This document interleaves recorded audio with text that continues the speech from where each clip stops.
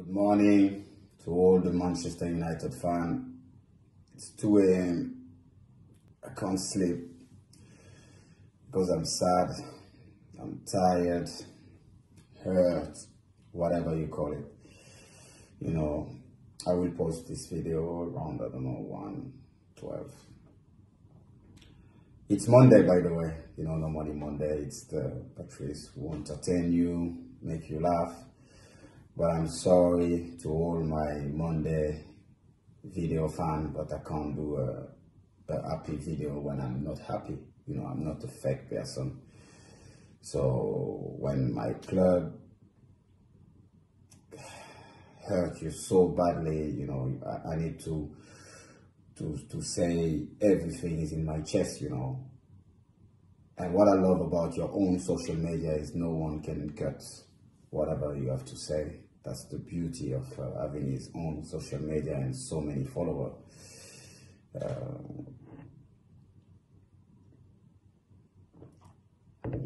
yes, that's the only pleasure I get right now from my club is drinking my green tea with my Manchester United cup.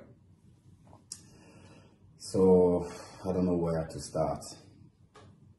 Let's start with the transfer. Come on, let's start with the transfer every year. I call it a deja vu. Like I said, we make so much impact on social media, but the reality,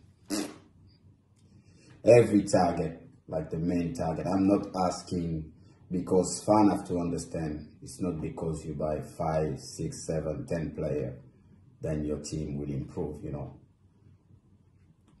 But at least your main target and that's what we're not doing anymore. You know, at the time, Fergie, David Gill time, we didn't hear hear anything in the paper. But bam, bam, bam. Van Persie, Evra, Vidic, boom. Ferdinand, boom, boom. Everything fast. When Manchester United want a player, boom, they just go. And they go and they talk to him face to face. You know when Ferguson and David Gill they come to meet me at Monaco, it was like worse than an interview from the CIA or the FBI. But now, my phone is ringing, some football director about top club. They say, Patrice, can you ask please to a certain Matt Judge, Matthew Judge, to answer to his phone?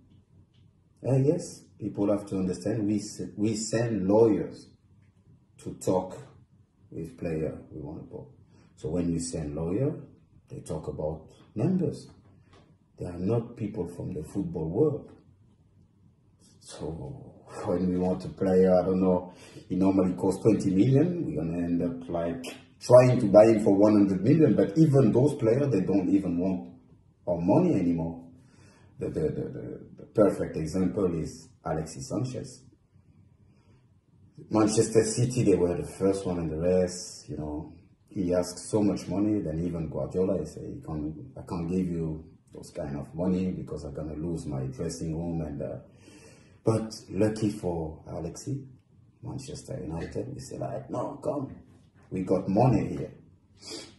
Even him, he say, after one day, he asked to agents to if he can break his contract. Even he said, no, I don't want your money. What a disrespect for Auckland, for the legacy we built. Because before us, you know, Bobby Charlton, George Best, all those people, they make the history of the club. That's why we try to respect him. 99, us 2008, you know. And just some people, that just want to blow up all this legacy away. For what? Which reason? Business? Come on, guys. Come on.